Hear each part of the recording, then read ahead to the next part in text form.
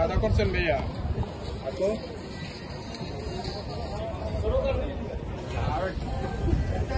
এত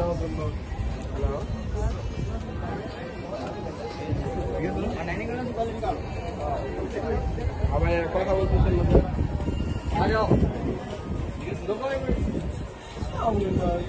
হ্যালো